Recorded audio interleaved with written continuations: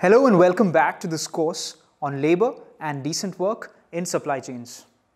Now, one of the terms that you will come across when you read about the emergence of global supply chains is flexible specialization. This is a term that is used to describe a range of strategies that emerged especially in Japan and Southeast Asia to modify the prevalent model of mass production by workers repeatedly performing the same tasks on a single production line. The term Fordism, which refers to the automobile manufacturing strategies of Henry Ford, is used to describe these older strategies. Now, instead of a single production line, these new strategies used long-term supply and subcontracting networks. They employed a core of workers who had a variety of skills and so could perform a variety of tasks, and a periphery of workers who had fewer skills and so would perform fewer tasks repeatedly. These flexibly specialized supply chains were therefore less standardized, could respond quicker to changes in demand, and also supply specialized goods. The value chain for manufacturing textiles in India, both for export and for the Indian market, contain an extensive network of cotton producing farms, processing units, cloth production units, and garment manufacturing units of several different sizes. Alongside large export companies, thousands of smaller workshops employ a constantly changing number of workers through labor contractors to produce smaller batches of garments. I think um, if we're looking at the global um, supply chain, um, India is um, one of the largest um, uh, exporters, uh, not the largest. Uh, there are others such as Bangladesh um, and China, um, but we um, we find that India has um, quite a developed uh, garment industry and has for uh, the past sort of recent decades been been playing quite an important role within uh, global value chains, primarily in terms of cotton being such a large um, producer and also exporter of, of, of cotton. Um, and um, we find in terms of uh, across the country, uh, in terms of the global value chains or global commodity chains, if we want to call them that, um, Delhi NCR area, uh, Bangalore, and Tirupur are three of the key hubs, and we also find production um, in other areas um, in, in the country, including uh, different parts of North India uh, and and um, other areas of Tamil Nadu and and so on. Yeah, you see, sir, Tamil Nadu, the registered uh, textile industry, uh, particularly spinning, dyeing, and garment processing unit, and knitting. Uh, these are all the factories, industries involving textile production supply chain. The registered factory, uh, 7,413 this is a textile registered factories. Uh, therefore, in India, all over national wide, 60% exporters uh, from Tamil Nadu, Tamil Nadu, particularly Western Tamil Nadu.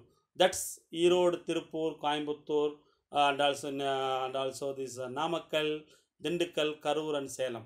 This is a seven district uh, textile hub. Even though the, some other uh, factories in uh, garment industry from Chennai also there, but ma- majority their textile hub is Western Tamil Nadu.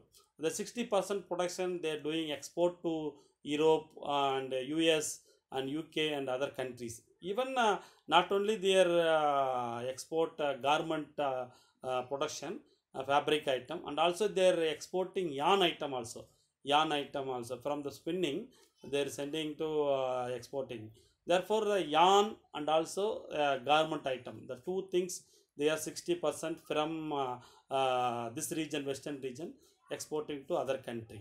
Uh, we did a study um, as uh, Traidcraft uh, last year um, in uh, focusing on Delhi NCR area, and we identified, for the purposes of what was a small exploratory study, three broad categories of workspace: export-oriented factories, informal um, uh, factories and production units, and and also home working.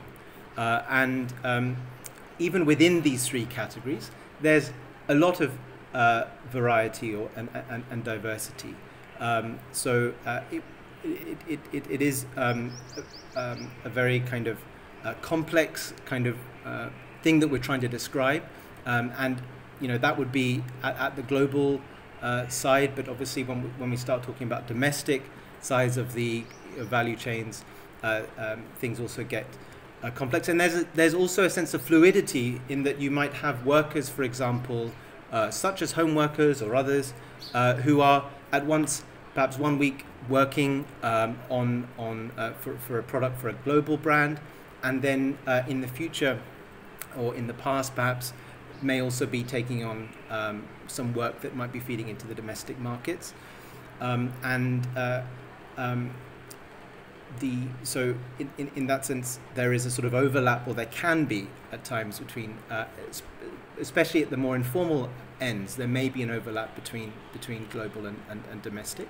I think at the more formal levels um, it becomes clearer uh, you know as to which is uh, you know which is global and, and, and which is domestic because the nearer you get to the lead buyer um, or the or the brand uh, the purchaser uh, obviously the more uh, regulations and so on have to be uh, uh, typically, at least in theory, have to be brought in, um, and, and and the character of the kind of workplace um, changes as it as that integration with the global chains becomes more um, sort of close in that sense.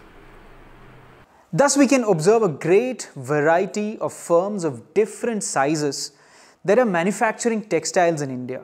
Some of them participate in global supply chains, supplying cotton, yarn, and garments.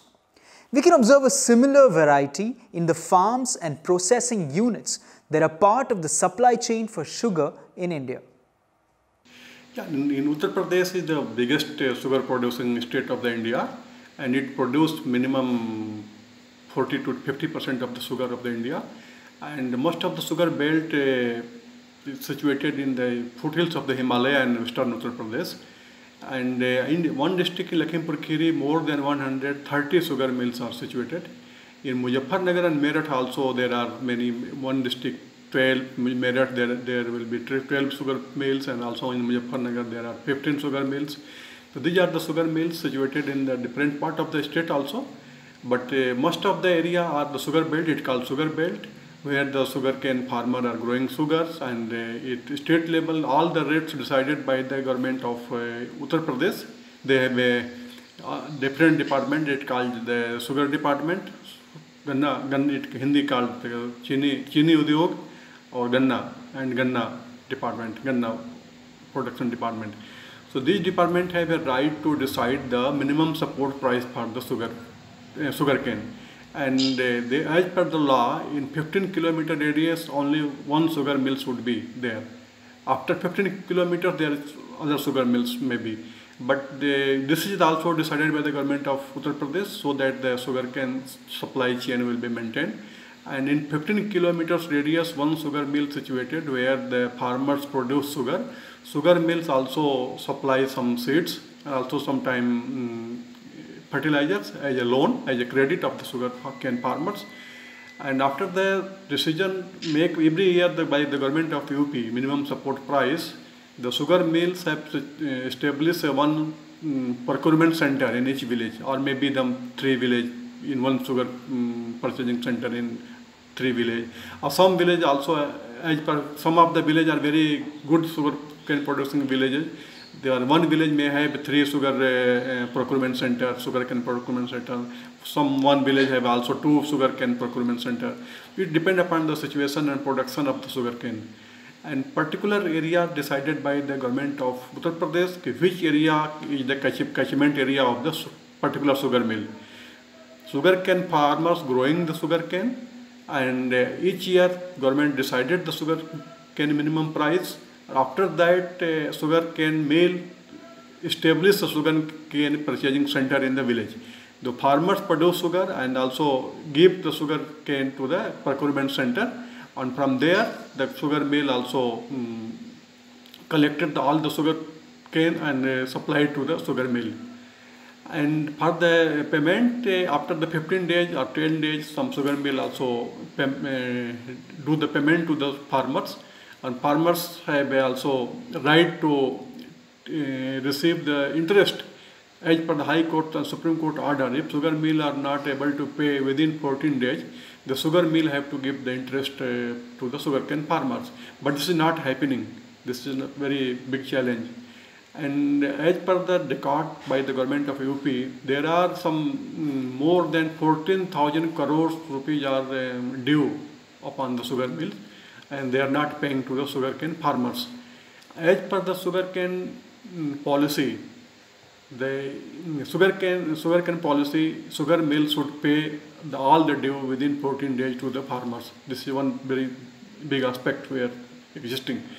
Other thing, as per sugar supply chain, the farmer supply the sugarcane to the mill, then sugar mill um, process the sugarcane juice and also produce the sugar, and then they also supplied the same sugar to the uh, government of India also to distribute under the Food Corporation of India and under the public distribution system.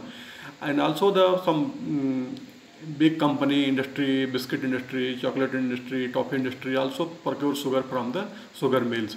It may be the Pepsi Cola, Coca Cola are the biggest buyer of the sugar in the UP, and also some toffee making um, factory and also the company is also buying the sugar from the um, sugar uh, mills. And same way, the uh, government of India also decide the quota to export the sugar from the sugar mill to the um, abroad. So they also the sugar mill so, uh, selling the sugar to the Gulf countries, also the Thailand, also sometime in Japan, also United Kingdom, so many where they are selling the sugar.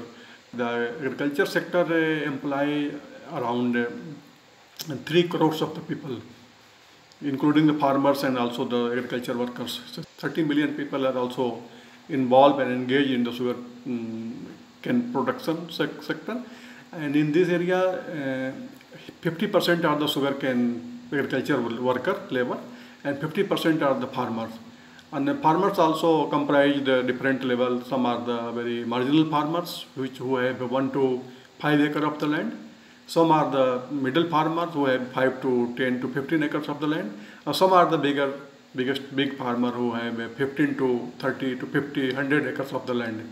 They are possessing and they are producing the sugar cane in processing sometime also the sugar cane production are very high and the procurement uh, capacity of the uh, sugar mill are very low so if the farmers producing for example one one lakh ton metric ton sugar the sugar mill only uh, by 50 percent and 50 percent also goes to the uh, some small jaggery making units or some brown sugar making units so in that way, if you see this, one sugar uh, mill have a minimum 5,000 workers, which are a very average number.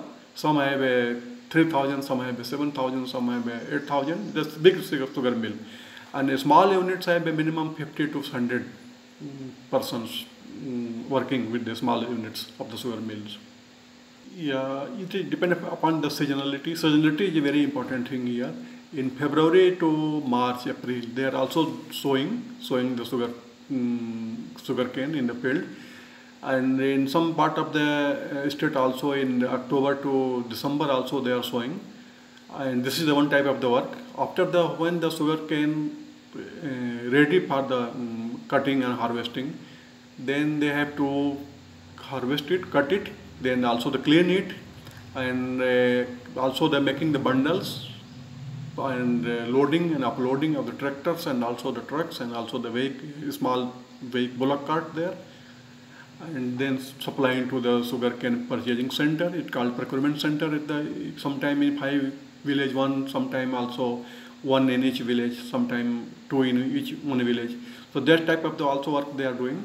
And after that, when the trucks loaded uh, from the centers, then the truck uh, goes to the sugar mill in sugar mill also there are some unorganized workers or contract workers who are also um, doing some work for the um, clear the loads from the trucks and also send uh, send it to the sugar um, unit gate. So this, this type of the things they are working in the from the farm to mill. In the mill also they are doing the, the boiling the sugarcane juice and after the boiling there are so many processes, liquid, semi-liquid and then solid. And uh, after that uh, there are some mechanized system there. And when the sugar uh, ready from there then then have to also the packing. And workers or the laborers are also the um, sometime loading, sometime sometime doing some other thing, counting and also the spreading on the ground. And the sugarcane industry also there are so many fluids are affected that area, so they are also doing some sanitization with the phenyl and other chemicals to check the um, and flies. And in that way they are doing on different type of thing, but most of the work are the seasonal. In, from uh, from October to May there are harvesting time. From May to June there are also some doing some um, irrigation and also doing some weeding, de-weeding, supplying the fertilizer. These are the things are because sugar cane also for the one year crop. This is not seasonal crop. So one year there are some work in the sugar cane, some time different type of the work they are doing. In the first module of this course, you were introduced to global supply chains and the common challenges that arise for labor and human rights in these chains.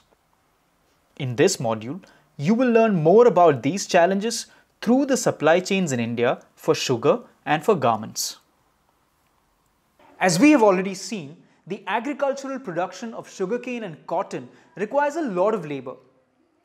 This demand for labor, however, is of a seasonal nature and is offset by the peculiar vulnerabilities of the people who are seeking work. Many researchers have documented this characteristic of supply chains. They take advantage of economic and social disadvantages of the workers to produce goods cheaper. So uh, again, and, and when we look at uh, uh, agricultural labor force in India, uh, some of the crops are uh, uh, uh, um, are particularly uh, labor intensive and you know an example of these crops would be something like sugarcane which is an extremely labor intensive crop both for the sowing and the harvesting season. uh, and similarly uh, cotton which is the primary uh, source material for the textile sector where uh, where both the, the sowing of the cotton, the, the, the intercultural kind of uh, uh, preparatory activities and the cotton picking which is one of the most important or most labor intensive activity. So far uh, you know there have been attempts at mechanization uh, both for sugar harvesting as well as cotton picking but they have not yet been very successful and it remains to be an extremely labor intensive uh, activity.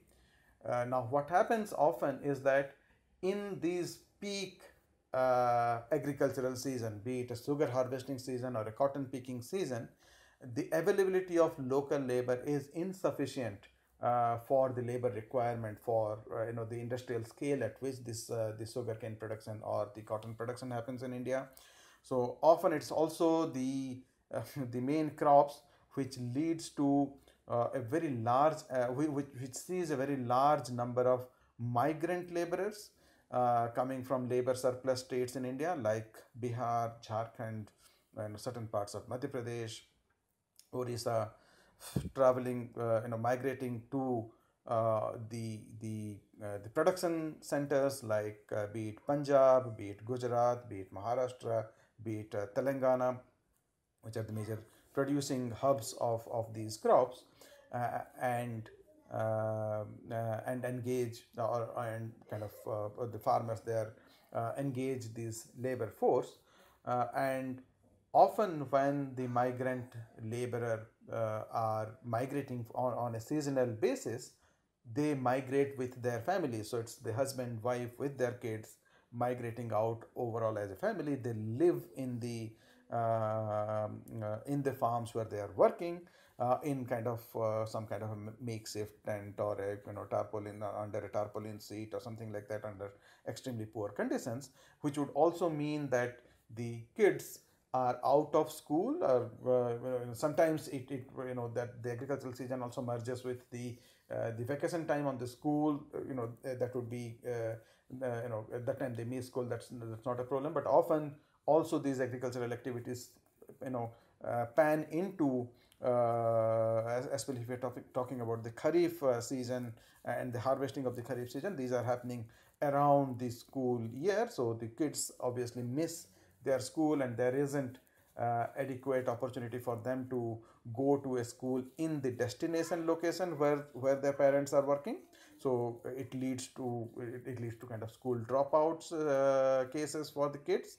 And often when kids are available who are out of school even kids as as young as 8 9 10 years old often end up helping out their parents in the farm in the labor work itself. Not necessarily earning a wage but because the wage of their parents is pegged to certain amount of output that needs to be produced uh, whether it is cotton picking or it is uh, you know uh, cane cutting in the case of sugar cane. Often the kids are actually uh, helping out in order to make sure that their parents are able to meet those very very stiff target to be able to earn their wages. And that actually leads to a very uh, large risk of child labor engagement in agriculture. And that's how child labor in agriculture uh, really uh, uh, one of the major contributor to child labor engagement in agriculture comes from these two uh, crops. Most of the sugar cane farming system, the sowing and harvesting done by the agriculture laborer, who are the most of them are the belong to the scheduled caste and OBC community. And if we, if we uh, examine their percentage, it may be the 50% of the sugar cane farmers are uh, OBC, 30%, 20 to 30% are the scheduled caste, it may be the Dalits, tribal population are very low in Uttar Pradesh, so there are no tribal population countable here. And on the same way, if they see the, their uh, nature of the from from where they are coming, for the harvesting time also in Meerut and Muzaffarnagar or Western Uttar Pradesh, local labor are working in Delhi market, so they are not doing work in the, their own farm, own village.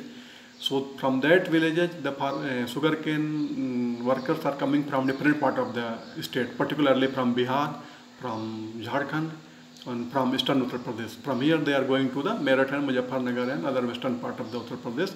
And in the Tarai foothills of the Himalaya, the local farmers are work, local sugarcane uh, uh, agriculture workers are working there. And their composition is also the same, 40% maybe the OBC, other backward caste, 30% around the Dalits, and some few negligible percentage are from the Nepalis. Because some of the district of the UP, which are the sugarcane growing district they are situated at the border of the Nepal. Uh, for example, Lakhimpur Kheri, Bijnor, no, not Bijnor, Lakhimpur Kheri, Udham Singh Nagar, Bahraich, Sarvasti, Balrampur, Gonda. These are the districts at the border of the Nepal. So sometime harvesting time, the whole family migrated from Nepal to India and they are doing the um, harvesting in the sugar um, cane farming. And they did it. But there also percentage are not countable. And in that area, uh, 20% laborer are from migrants from different part of the state or different part of the country and 60% uh, are the local and uh, other rest 20% are some floating. Sometime here sometime there. They are the migrants seasonal migrants they are working and doing. Or there are some also the farmers who have a small marginal farmers one acre of the land half acre of the land. So they are doing also some farming in their own land and also doing some um, job work and daily wage work. In the first module of this course you learnt about the central role that labor law plays in making work more humane and the role of collective action in advocating for decent work. Now imagine a market for labor where there is neither any labor law nor any collective action. This would mean that there are neither any minimum standards that the employment relationship and the terms of work must meet, nor any trade union to bargain collectively on behalf of the workers. This nightmare scenario is almost entirely true of the market for labor in Indian agriculture except for some overarching laws such as the minimum wages law, there are few standards applicable to the employment relationship in Indian agriculture. In the absence of law and collective bargaining, employment relationships in agriculture mirror the lopsided nature of Indian society. Land ownership is concentrated among certain classes, and workers almost entirely belong to socially disadvantaged sections. The, uh, if you see the as a community wise, the most of the farmers in the whole, uh, area they belong to the uh, upper caste are called the general community, general caste. And if you see the caste wise, they are the Jat, Gujar, Brahmin, Kshatriya. They are the owner, or sometime of the OBC also. Some OBC dominant community are also very strong in some area. Maybe there are Gujar, they are the Kurmi, and there are the Yadav, and who are doing the um, producing the sugar cane. In some area, some uh, uh, Sikh farmers from the Punjab also they owning the big farms, particularly in the foothills area, Tarai area, Lakhimpur Kheri, Shravasti and Bahraich. So during the independent and after during the division, a lot of the farmers migrated from the Pakistan. They sold their own land there, and they also government of India also um, allotted some land in that Tarai area, foothills of the Himalaya area. So they belong to the Sikh community. They, they are the Punjabi farmers.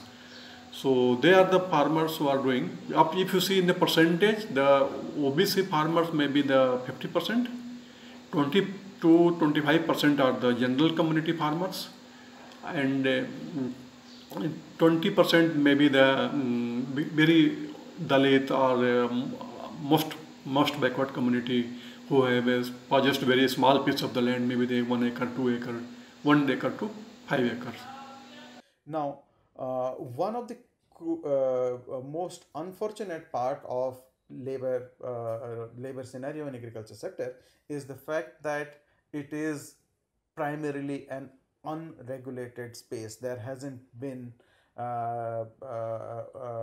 there hasn't been proper regulatory mechanism established or applied uh, uh, and implemented in the agricultural scenario. And then hence the uh, the the working conditions wages or any of the uh, any of the parameters that you really analyze when you are thinking about a labor force and labor participation uh, is very much uh, left to the uh, the the free will of the market so to say based on you know uh, demand and supply.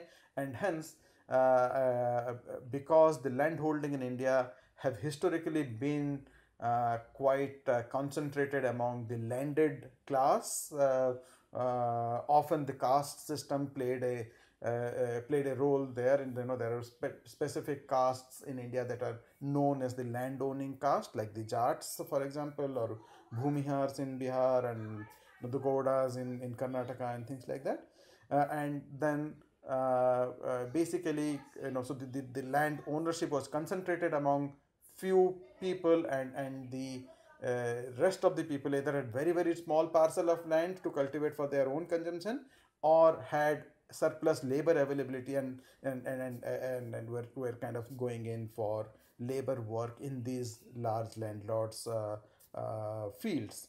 Uh, and hence uh, again i think the the uh, the negotiating power or bargaining power when it came to uh, various parameters of either working conditions, various social benefits, or wages negotiation, all of this were very lopsided with the landowners having a much larger say or bargaining power vis-a-vis the labor force. Here everything is informal, not written. It is verbal.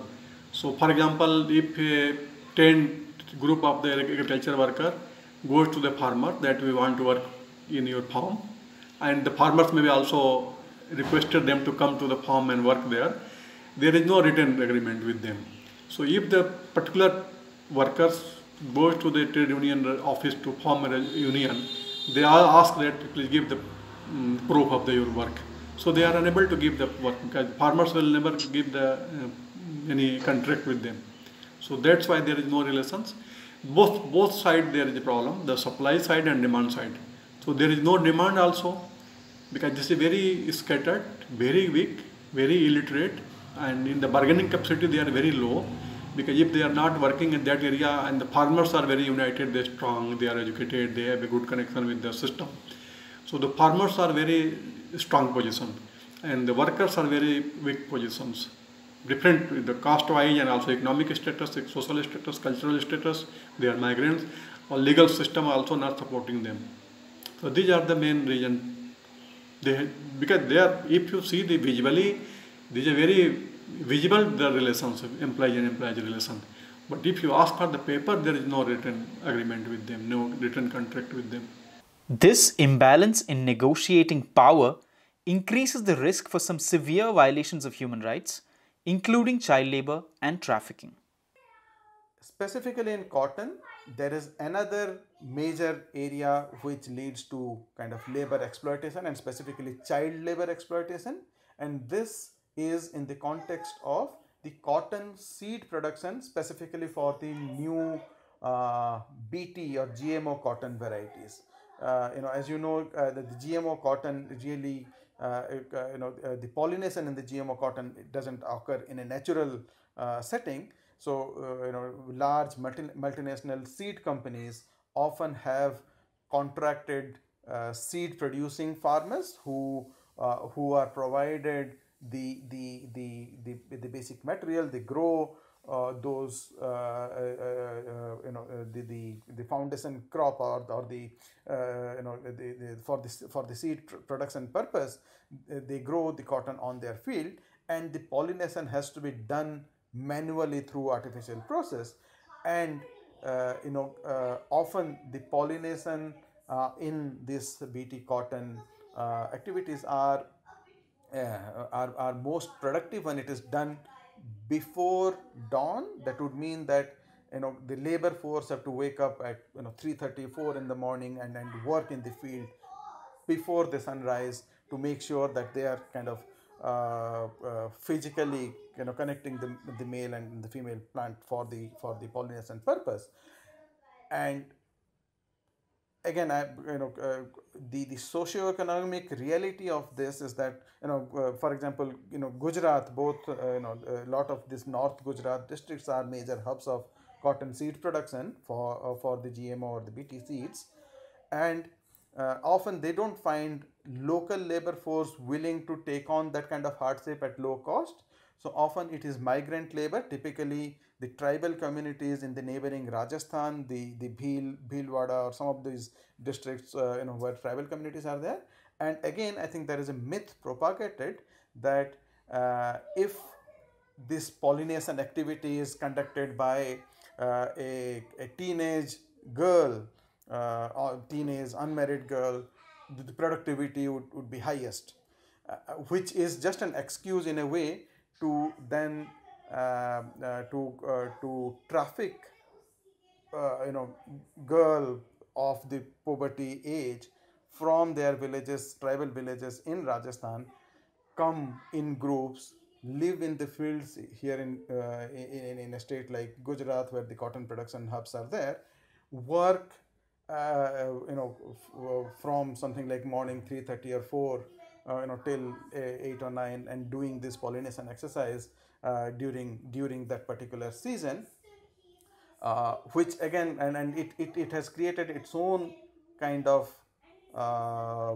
business ecosystem in, in the sense that then there are labor contractors who who work for these uh, landed uh, large farmers or contracted labor uh, contracted farmers by of the MNCs in the cotton seed production space who uh, really uh, you know bring uh, who take contract for bringing in these uh, girls or small boys from tribal communities uh, to come in and work on on the pollination uh, work in in the cotton seed production.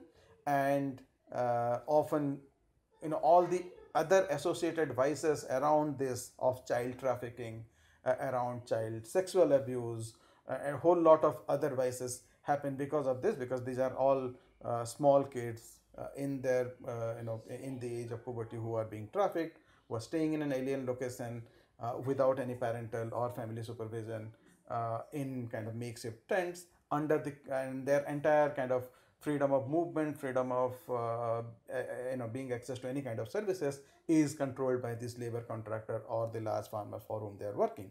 So a whole uh, ecosystem of uh, you know a number of associated abuse uh, kind of uh, comes about because of this practice, uh, which is put over there. Farm also there are some big farms where the more than 100 acres of the land available and big farmers are doing the farming.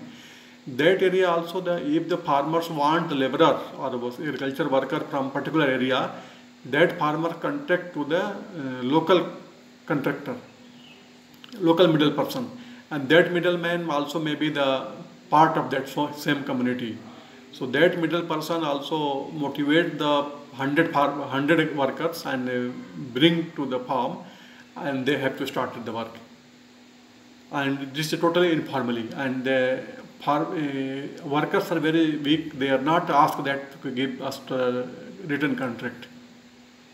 They just uh, for the for their uh, accounting purpose, they just written the name that yeah, particularly for example, name is A B C.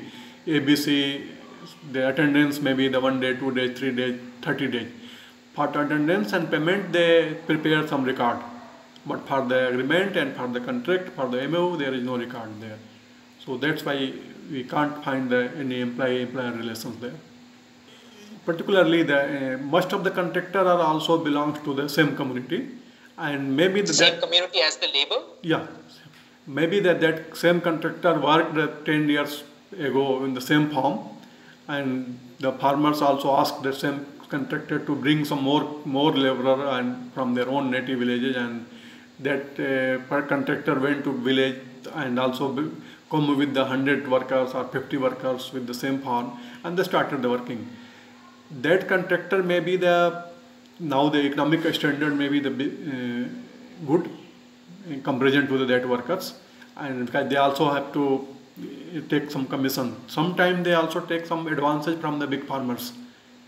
For example, uh, sometimes they also pay the 50,000 to the contractor to bring some 100 farm laborer to the sugarcane farmer and sometime also they are coming after they are fulfilling the work they also um, receive the money from the farmers and that there are there is no direct relation between the contractor no no direct relation between the farmer and the workers there are some middle middle person of the contractor and that contractor are the working as agent of the farmers in that area and uh, that contractor also convincing the workers for sometimes the extra work. For example, if they have targeted that, then they have to harvest two acres of the land, sugarcane farm, one day. Maybe their working hours uh, increased. It may be the, from 6 hours to 8 hours to the 10 hours to 12 hours. And the contractor also convinced the um, workers, please do it, please complete the work, do it. And today evening they will give the, some good food, maybe some good party.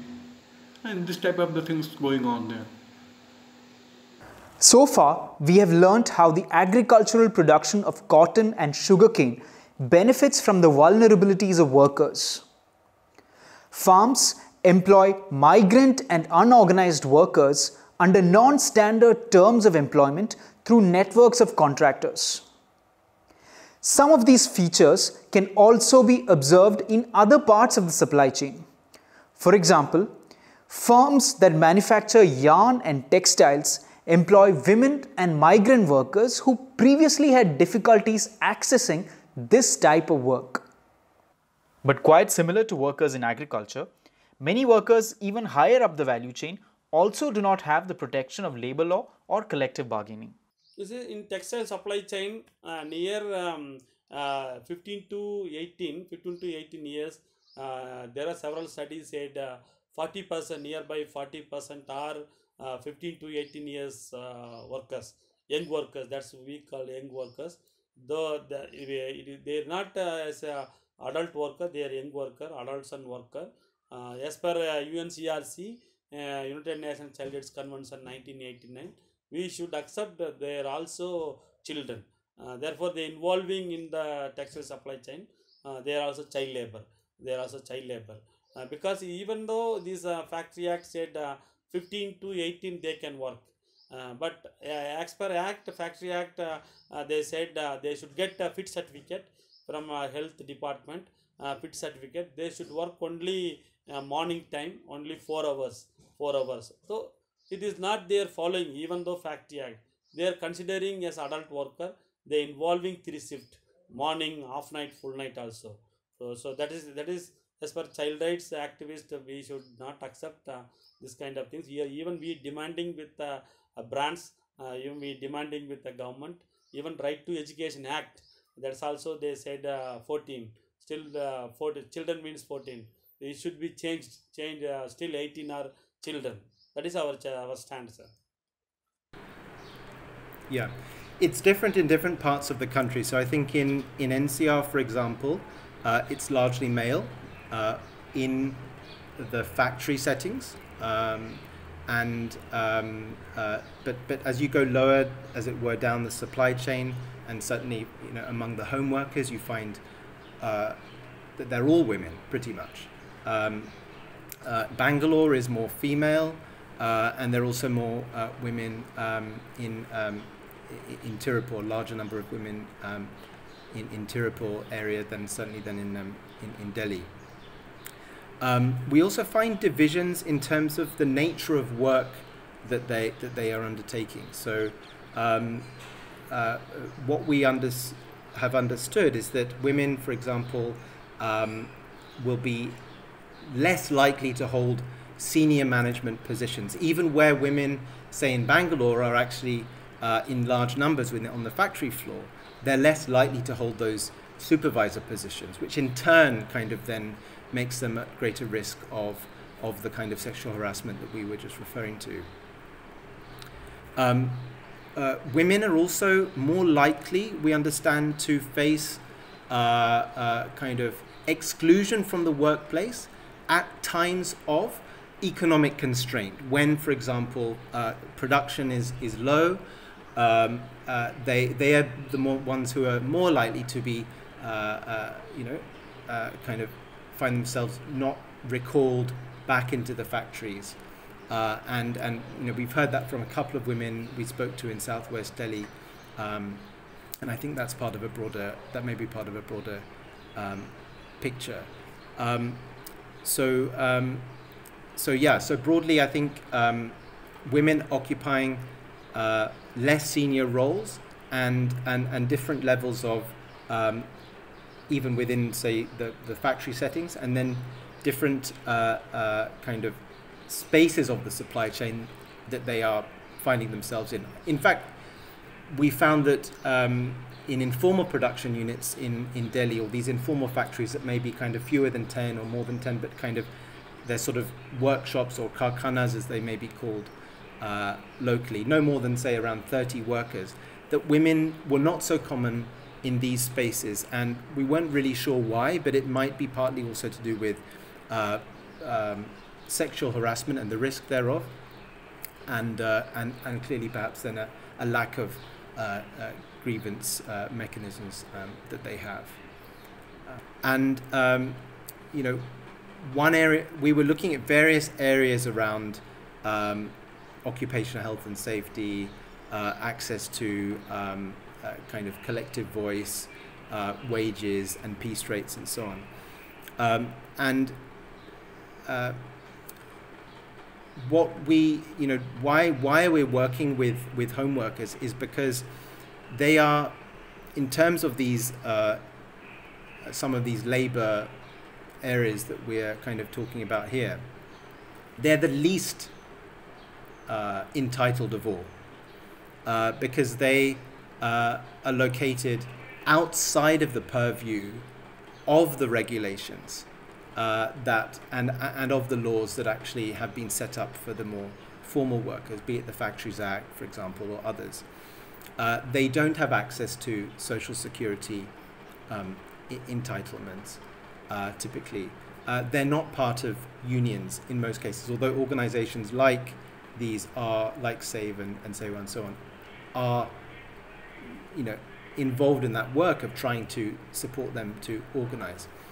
Um, so, in terms of the gaps, we have to um, uh, kind of take full cognizance of the scale of uh, informality in India and and you know recognize obviously that 90% I think it is something like that of the workforce is informal. So if they're informal, even when we're talking about these laws that are there, um, you know they're not applying to these to these uh, levels. Uh, and um, the the um, you know in that sense um, any one of these labor standards that we actually talk about uh, uh, whether it's health and safety uh, whether it's um, uh, wages uh, whether it's um, you know the right to unionize or collective bargaining and so on you know they're not really kind of um, applying to many to many home workers. Uh, gender uh, nowadays uh, 80% are 80 to 90% are women only women only. Because you see is a shift the even 90s after 90s globalization happened in world level. In india also it is affecting. Uh, after 90s slowly uh, their suppliers suppliers uh, they are giving voluntary retirement to permanent workers permanent workers they slowly they recruiting women only women only. But always when we are seeing uh, my own experience in the in the Tamil Nadu uh, even before I coming to uh, this uh, civil society uh, I know because uh, here we are living here nearby textile industry mostly men they working in the textile supply chain spinning and garment.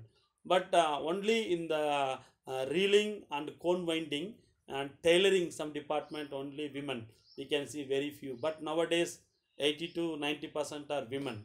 Women. It, it is shifting uh, from uh, 90s 90s slowly they're uh, giving voluntary retirement vrs to permanent worker. So slowly they're recruiting women only. Uh, because in the name of culture in the, in the name of uh, uh, religion always there is a caste caste and gender. Patriarchal they're using as their their business positive positive that's we, we are seeing seeing uh, therefore, nowadays we can see uh, 80 to 90 percent of women. Women's they're believing uh, the believing suppliers believing believe oh women they will not take uh, leaves. Uh, they will uh, they can work contribute more. They don't have taking any smoke or going for outside the factory during their work. so therefore, they're always the domination by the men. So therefore, they're recruiting only mostly women. Uh, this is 80 to 90 percent. Uh, even the all the supervisor level uh, supervisor level are uh, all are the men only uh, men only uh, men only. In this situation we can see here this caste and gender they are playing very big role big role in the business textile supply chain. Mm, because you see before 60s even 70s uh, only so-called upper caste people they working in the textile supply chain. Uh, working means as a laborer even the worker. Uh, because dalits they are untouchable people they are not recruited. They recruited. The slowly after 70s uh, even 80s uh, they changing shift. Uh, they recruiting slowly dalits. Because the so-called upper caste community they they they they dropped their child labor reduced child labor reduced they went for higher education. Uh, therefore there is no child labor workforce.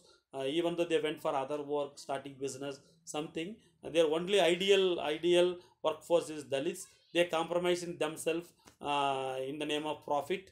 They recruited slowly as a dalits. Now we can see now we can see uh, 60 to 70 percent near dalits only in the textile supply chain uh, textile supply chain. Therefore we can see this caste and gender is playing a big role in textile business supply chain. Uh, even though uh, workers are uh, workers are dalit community but this management level management level mostly so called upper caste men only they are having. Therefore always they're looking uh, in the workers on the workers uh, these are all dalits. Uh, therefore they can do anything. As a supervisor as per hr even factory manager uh, even manager they can do anything on workers because of this mindset coming from because of these are dalits uh, dalit worker they can do anything that's why this harassment harassment even sexual abuse or verbal abuse even uh, forced labor are happening on this worker. Uh, even uh, uh, why they selecting uh, supervisors their own community, they believing the purity and something uh, only their, their community can do all, all those things. That's why even uh, top level, even supervisor level, management level, they're recruiting only their own caste. These these workers mostly they are seventy percent near uh, Dalits only, uh, Dalits only, because they are uh, they are in the nearby village or some nearby district, other district, even uh, other state, other state. They coming for this work. Uh, by this they recruiting by the agent, by the agents, even HR, even their own friends. For example, the co-worker, the co-worker, they're going to holiday their own village. They're recruiting ten workers, uh, ten workers. Their uh, factory their factory they're giving some award for gold coin. In Deepavali or Pongal uh, two festivals are very big festivals famous festival in Tamil Nadu. During that time uh, who are all some of worker they're getting uh, leave. They're giving some condition. Okay you can go to the uh, uh, your own village but when you coming back within one week you have to recruit 10 worker We- if you recruit 10 worker we are going to give uh, one gold coin, small gold coin. If we recruiting uh, five worker, we will give offer five thousand or nearby uh, sixty sorry uh, six thousand something. So like that uh, they are recruiting. Uh, therefore, the you see the, the, this kind of workers they are all mostly are Dalits, uh, Dalit worker. Even though one uh, uh, my own experience nearby our village, uh, even tea shop uh, tea shop person, small tea shop they have in the village rural only one person the family they making tea and vada something uh, they selling in the village level the person is recruiting their own village their own village uh, they're uh, sending to the factory sending to the factory during that time we had interaction with the person he said oh i am uh, able to providing some employment opportunity for rural dalit communities dalit communities. So see that, that is not intention. They each worker they, if they recruiting the, he can get uh, 5000 6000 something something rupees. Uh, so that's why mostly they're dalit worker from uh, tamil nadu uh, tamil nadu nearby district even even same uh, destination district dalits are coming. Even uh, interstate migrant from odisha jharkhand bihar west bengal they are also recruiting recruiting uh, by this agent factory uh, even nowadays government also recruiting in the name of skill training centers skill india. The government nowadays they promise to uh, public uh, near 2 crore people they're getting young young people getting uh, uh, employment job in skilled uh, skill areas. So therefore they're uh, recruiting in even odisha for example uh, they're providing 3 months training 90 days training. After 90 days they directly placement happening in tirupur region erode tirupur coimbatore namakkal dindigul districts. Uh, it is easy who is coming from uh, odisha here uh, in tamil nadu? They are dalits even uh, if they have land if they have something for the livelihood why should coming from from uh, from odisha to Ta- tamil nadu? It is need not to come here if they have all those all the livelihood opportunity they can survive there only. Why here coming? They they have the they don't, don't have a work. Even though don't, don't enough um, salary in other things is not available there therefore coming. In the category caste category who is uh, low category in the name of dalits only. So therefore obviously nowadays even migration this uh, district migration mostly dalits are coming and tribal. Jharkhand who is coming is a tribal community they're coming from the jharkhand jharkhand. So there are obviously this most workforce in textile supply chain are uh, dalits. Even recently one of the novel came in tamil nadu. The story of novel it is researched by written by one advocate uh, murugavel murugavel he is um, uh, a very good person. He written the novel. That's the novel very clearly said history of textile industry how uh, shift change from agricultural to textile industry uh, nowadays who is uh, who are all working in the textile industry which community majority they're working how they're exploiting means exploiting happening. Uh, obviously dalits only in, uh, wherever things only mostly dalits. In process unit, the inside the mill, most of the workers are from the outside of the local area. And uh, 50% are the skilled, they may have some professional degree, some occupational degree, they are working there. and there are the three type of the workers there. Some of the officials like the, they did the, some vocational training, mm, maybe the engineer, maybe the manager, managers, maybe the IITs who have some ITI, who have some technical knowledge also, and the, all the contract workers who are working in the sugarcane processing unit, they are also some 50% are from the local area surrounding the villages and 50% are the migrants and sometimes migrants also brought by the contractor. So one contractor used to bring um, maybe the um, 30 to 50% of the local requirement for the three months, for the four months, because it started in October. Every year around 20 October sugar mill started the processing and it uh, closed in May. So from October to, to May or October to April they are working there seasonally and again after the May they have to go to their native places or doing some other work. In this video, we took a deeper look at employment relations in the supply chains for garments and sugar. These supply chains include the agricultural production of cotton and sugarcane respectively. We learned how there is great imbalance in power between the people who own the land and the workers that they employ.